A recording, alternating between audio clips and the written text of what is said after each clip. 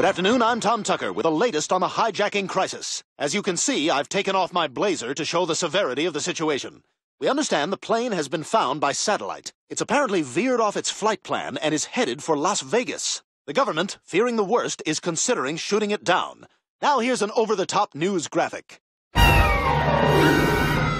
Nightmare over Vegas. Hijack jackpot.